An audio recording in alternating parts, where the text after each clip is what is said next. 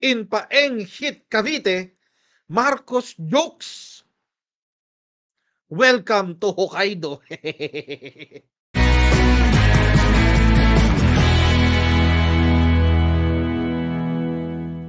Hello everyone at welcome po sa ating channel. This is Coach Jared. Today is November 1st, 2022 mga kaibigan. Uh, happy Halloween. Halloween yung ano eh, yung midnight. Yung October 31 hanggang November 1. Yun yung, yun yung Halloween eh. Uh, pero ngayon, it's uh, All Saints Day mga kaibigan. At maraming maraming pong salamat sa mga naka-tune in ngayon sa ating live stream. Kung kayo man ay nasa inyong mga tahanan o kayo ay nasa mga puntod ng inyong mga minamahal sa buhay, um, I hope that you are uh, um, reflecting sa ating uh, mortalidad. Ayan. At uh, mga kaibigan, ano, no, kung hindi nyo pa po nagagawa, mag-subscribe na kayo sa ating YouTube channel na Coach Jarrett. Meron din tayong vlog channel na Coach Jarrett Vlogs. Ine-edit ko yung bagong i-upload. At um, So abangan niyo yun. Uh, at pa-follow na rin po tayo sa ating Facebook page na Coach Jarrett. Ayan, mga kaibigan. Wala ho masyadong balita ngayon simula nung uh, nagput ng uh, simula nung bagyo, no. Punta ngayon tayo dito. Ito nga, nanggigigil sila eh. Kasi sila yung nagumpisa ng issue. Tapos nung tinapos, nung sinagot yung issue, ah, biglang ano, change topic. Gaslighting ang mga kaibigan. Gaslighting ang uh, ginawa. Sila na nga yun ng biktima, sila na nga yun ng asar. Nung sinagot sila dun sa pang-aasar nila, biglang sila ngayon ng biktima. Ang galing. Ang galing, no? Change topic, no? Okay. Ito kasi nangyari, mga kaibigan. Ito yung balita kahapon ni Krappler. In Paeng hit Cavite, Marcos jokes. Welcome to Hokkaido. Alam niyo kung saan galing yan? Yang, yang issue na yan, yung welcome to Hokkaido na yan. Saan ang galing yan? Yang ano na yan? Sagot na yan ni Presidente. Dito sa issue nung weekend. Nung weekend kasi, eh hinaha, pinauso na naman nila yung hashtag nasaan ang Pangulo. Di ba?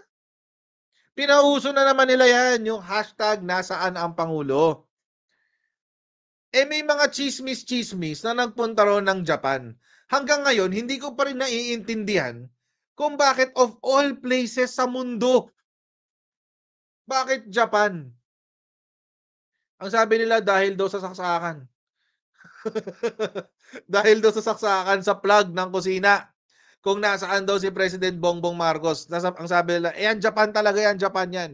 Sa Japan, ganyan ang saksakan. O, di sinabi nila, o sa Japan daw. But anyway, hindi ko alam eh. Ang bobobo eh. Anyway.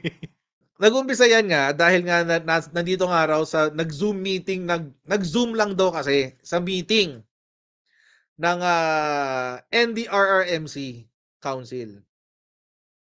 NDRMC, na pala yun? Uh, na, National Disaster Reduction and Risk Management and Mitigation Council. Napakahabang pangalan, no? Nag-Zoom lang daw kasi, bakit daw hindi siya nandiyan in person? For the per, for the in person ang hanap nitong mga dilawamping CPP. Bakit daw ganyan? Tapos ang pinaghinalaan nila ay yung outlet. Outlet daw. Ah, nasa Japan siya, sabi. Nasa Japan siya kasi yung outlet pang Japan. Hindi sumagot ngayon ng ano, ang ating uh, Office of the Press Secretary President Ferdinand Marcos Jr. is not in Japan. Eh di naging issue pa rin, di ba? Bakit daw hindi na lang daw sabihin kung nasaan? Okay. Ginawa, nag-post ngayon ang Dawang Eatery. Si Dawang Eatery, yung laging kinakainan. Ah, uh, yung laging kinakainan ni PBBM sa Ilocos Norte, yung Dawang Eatery. Dapat hindi ko nga napuntahan yan eh. Dapat dapat pinuntahan namin 'to eh. Wala sa Japan, ang sabi. PBBM kumain sa isang eatery sa Lawag. O yan, October 31 din. Ayan yung picture. O tapos, ang sabi naman ng mga iskon hindi, nagpunta talaga siya ng Shanghai kasi yung t-shirt o Shanghai Museum. Oh my God. Eh, pinakita ko na sa inyo to kahapon. Ang sinabi ko po sa inyo kahapon, paano makakalipad? Eh, 100 plus ang uh, canceled na flights. Maski i-private plane mo yan, hindi papayag ang airport na umalis. Tapos ang sabi, Eh, biyernes pa raw siya umalis. Biyernes pa lang, wala na dito si PBBM. Okay, biyernes umalis. Pumasok ang uh, bagyo, Sabado. Ibig sabihin, biyernes siya umalis, tapos sa same day, umuwi rin siya. Ang, ang, ang bobo eh. Ang bobo talaga eh. Kasi Sabado pumasok yung bagyo. So, ibig sabihin, biyernes daw umalis. Sabado, nakauwi na ng Pilipinas? Ibinahagi ng isang eatery sa Lawag, Ilocos Norte ang mga litrato ni Pangulong Ferdinand Bongbong Marcos Jr. kasama ang anak na si Vincent Marcos at pamangkin si Ilocos Norte Governor Matthew Marcos Manotok nitong linggo ng October 30. Sa kasagsagan ng pag-iintriga ng mga netizen na nasa Japan o ibang bansa ang Pangulo habang hinahagupit at pinadadapa ng bagyong paeng ang Pilipinas noong October 29. Ang stupid eh. Ang stupid. Sobrang stupid. Merong itong isa, sabi ni Jerry kakanin din, five, uh, Friday pa lang daw umalis na. So, ibig sabihin, kasagsagan ng bagyo nung dumating siya sa Pilipinas? Kasagsagan ng bagyo? How stupid is that? So, apparently, umalis nga si President Bongbong Marcos ng Malacanang. Pero, umuwi siya ng Ilocos Norte. Masama ba yun? Hindi. Si Presidente ano, Duterte, ganun ang ginagawa. Every weekend, bumabalik ng Davao. Inisyu ba ng mga Iskonians ngayon yon? Hindi. Di ba? Si PRRD, si former president, si FPRRD, every weekend umuwi yun ng Davao. Umuwi siya ng Ilocos Norte. Andun bahay nila eh. Pamilya niya nandyan eh. Hometown nila yan. Masama ba yun? Ngayon, itong mga dilawang ping CPP, gumawa ng issue. Ayan, dahil dyan sa lintik na outlet na yan. Ayan, ayan, ayan, ayan. Dahil, lang, dahil lang dyan sa outlet na yan. Ayan, ayan, ayan. Highlight natin. Ayan. Oh. Gigil na gigil ang mga dilawang ping CPP dyan. Nasa Japan dahil dyan sa outlet na yan. My God. Ganito pala. Kung ganito ang sistema, mga kaibigan, edi nasa Japan na rin pala ako ngayon. So ngayon, syempre, dahil hinahanap daw siya, it, na, where was the president? It was a simple question, sabi ni Rappler. Where was the president? It's not a simple question kasi alam natin na itong tanong na to ay loaded. Anyone in his right mind will not will not answer a loaded question. Yung mga tanong na ganyan, mga kaibigan, kapag sinagot mo yan, talo ka. Pag hindi mo sinagot, talo ka pa rin. So might as well, wag ka na lang sumagot.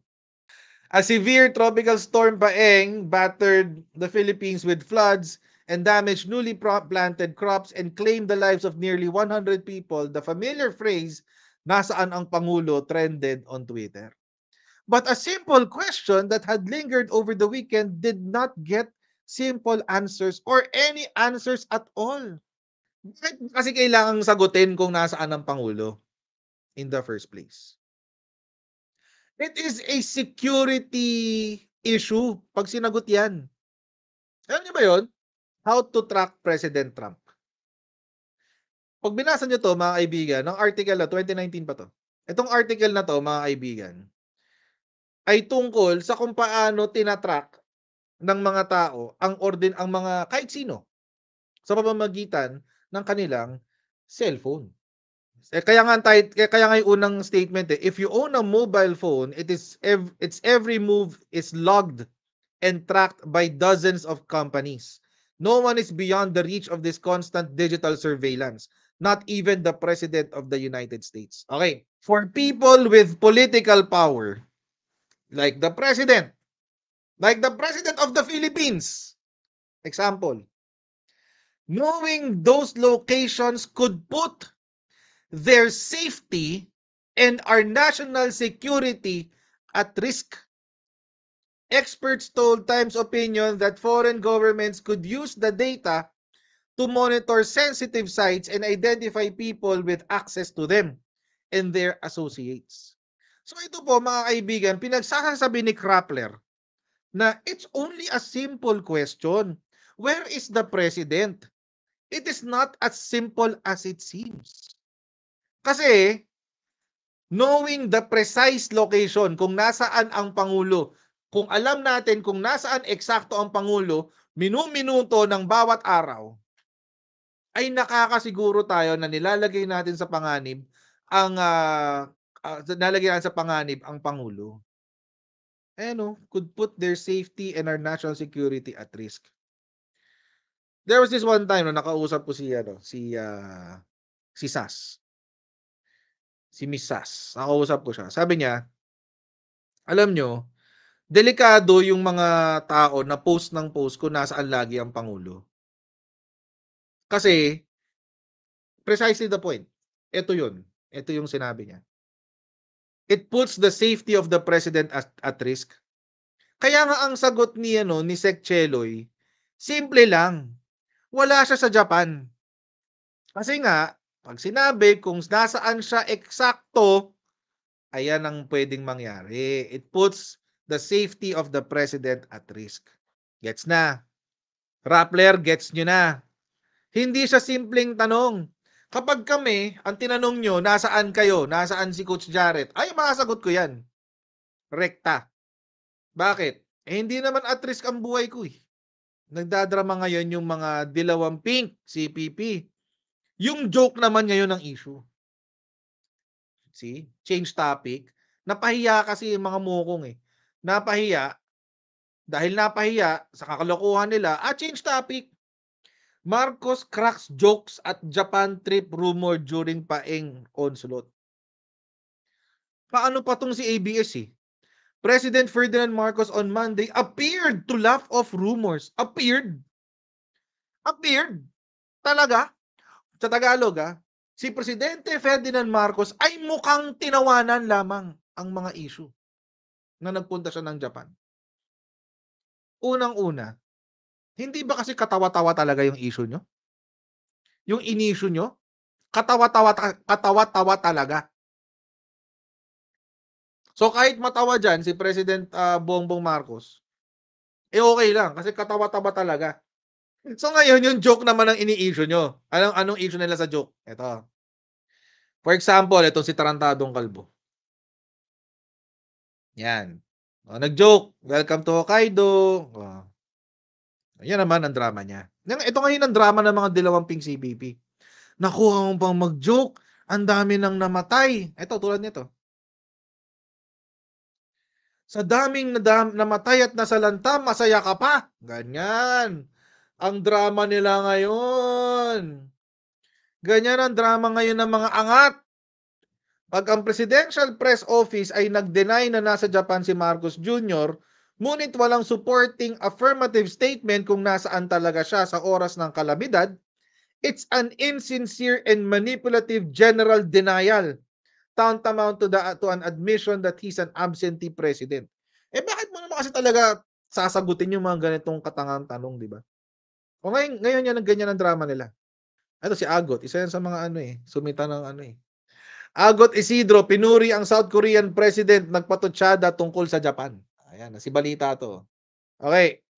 Nag-trending siya. Japan, Japan daw sagot sa kahirapan. Sabi ni Agot Isidro. Just always pray at night. Tapos, pinuri niya si presi- uh, presidente ng South Korea.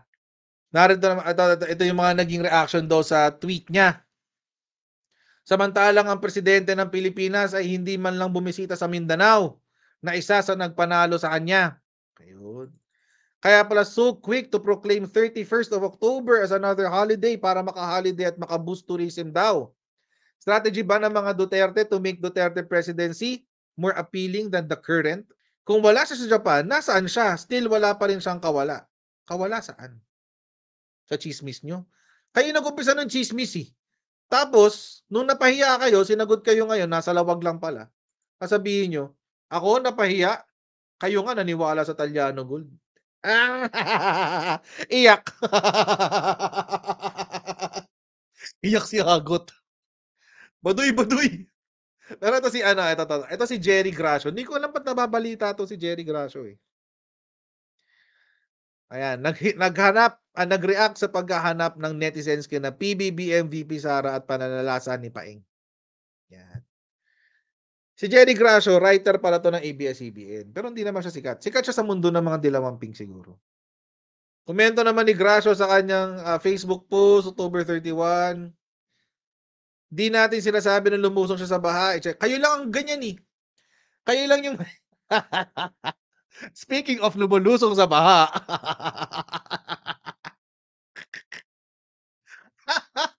Naalala ko yung picture ni Isko. Lumulusong sa baha. Yung mga ganyang galawan ng mga pulitiko, mga kaibigan. Ano na 'yan? Walang ano 'yan, wala ng wala ng halaga 'yan, eh. Parang 'yan yung, ah, pagta-traffic ni Mar Rojas sa Commonwealth, yung paglalagay ng, ah, hollow blocks ni Leni sa gitna ng ulan, ganyan. Yung paghigop ni Mar Rojas ng sabaw sa sa plato at pagkain niya sa tasa, mga ganyan. Yung ano, nagpapanggap na concerned. Hindi na wala ng hindi nabebenta 'yan. So, marami siyang sinabi tungkol diyan sa ano, kay, ah, presidente. Mahirap bang magsabi na, "Andito lang ako sa Ilocos," yung gumaganyang drama ngayon, eh. O, "Andito lang ako sa Davao," o kung nasa, kung nasa ibang bansa maintindihan naman ng tao, nagbakasyon ako dahil long weekend. Magsabi lang ng totoo, 'yan. Pina pinapalabas nilang sinungaling si pre si presidente. Lalo lang niyang pinatunayan na tama ang sinabi ng tatay niya na tamad siya, 'yun ang sinabi ninyo. Ah, ano 'to, eh, maingay 'to si Jerry Gracio sa mundo nila, eh. Sa mundo ng Dilawamping CPP. So 'yan, although marami siyang sinabi, 'di ba, marami siyang ginawa. Tapos nag-joke nag-joke si PBBM ng, ah, "Welcome to Hokkaido." Anong sabi?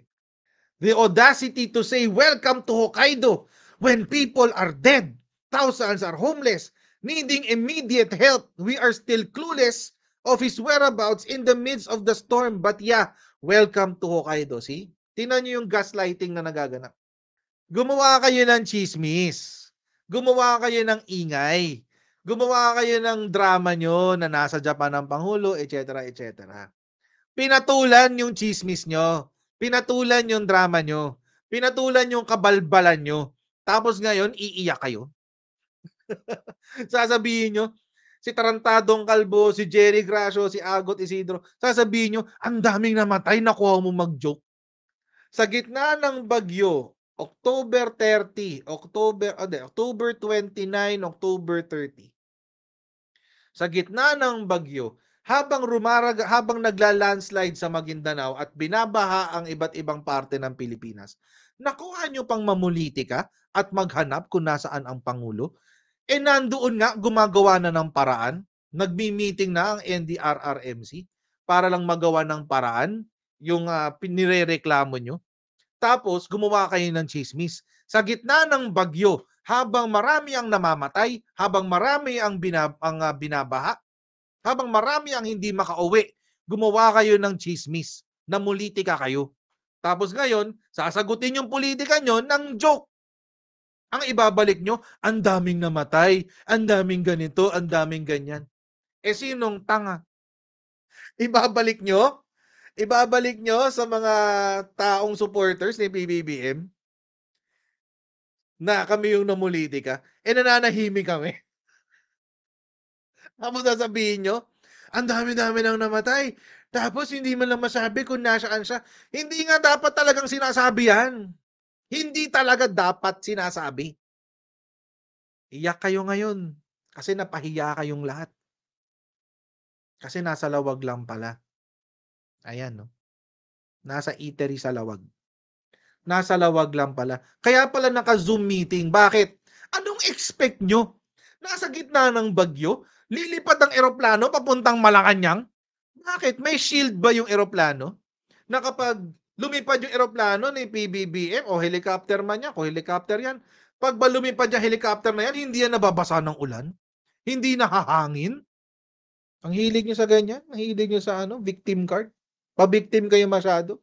Feeling niyo biktimang-biktima ang mga Pilipino, kaya tingnan niyo utak ng Pilipino pa-victim palagi. Tingnan niyo, pansinin niyo, ang mga Pilipino kapag na ano, laging pa-victim. Kahit mali na sila, pa-victim pa rin. "Mahirap lang ako, ginaganto mo ko." Ah, kahit mali siya. Kahit nagnakaw, kahit nang-hold up. Kasi sa hirap ng buhay kaya ko lang nagawa 'to. Yan nagawa ng ABS-CBN, eh. Pa-victim. Naging pa-victim ang Pilipino dahil sa ABS-CBN, totoo lang, dahil sa mga teleserye ni ABS. Gumawa kayo ng issue, kayong mga Dilawamping CPP. Gumawa kayo ng issue, Gumawa kayo ng chismis na wala sa Pilipinas ang Pangulo. Ngayon, nung pinakitang nasa Pilipinas, kayo ngayon ang napahiya, sasabihin, tapos pinagtatawanan kayo, sasabihin nyo, pinagtatawanan nyo kami, ang dami-daming namatay. Yan ang nakukuha nyo. Ay, kasi mga kaibigan, ganyan ang politika ng dilaw. Lagi silang humahanap ng biktima para suportahan yung politika nila. Kasi hindi nila kayang ipagtanggol yung politika nila ng as is. Hindi nila kayang suportahan yung politika nila as is. Please click subscribe po dito sa ating YouTube channel, Coach Jared. Paki-follow na rin po tayo sa ating Facebook page. Coach Jared din ang pangalan at see you again tomorrow on our next Coach Jared Live. Right? Bye everyone. I'll see all of you tomorrow. Bye.